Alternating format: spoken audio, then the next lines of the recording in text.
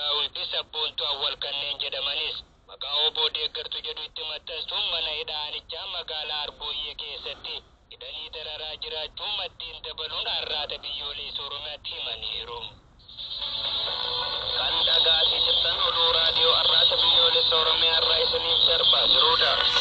Ergamtoonni sirna bilisiqinnaa jiraattota godina Bahaa Shaggar irratti ajjechaa fi saamicha jabeessanii jiraachuun dhaga'ame.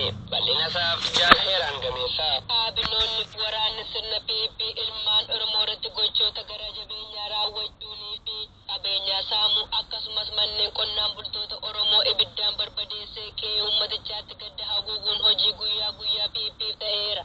Godina Bahaa Shaggar aanaa Fantaalee ganda Harooreetti jedhamtu keessatti maqaa waraana bilisummaa Oromoo deeggartuun qabeenyi uummataa alaa fi manatti osoo hin hafin waraana sirnichaan saamamuu dubbatu. maqaan namoota qabeenya isaanii saamame kunis.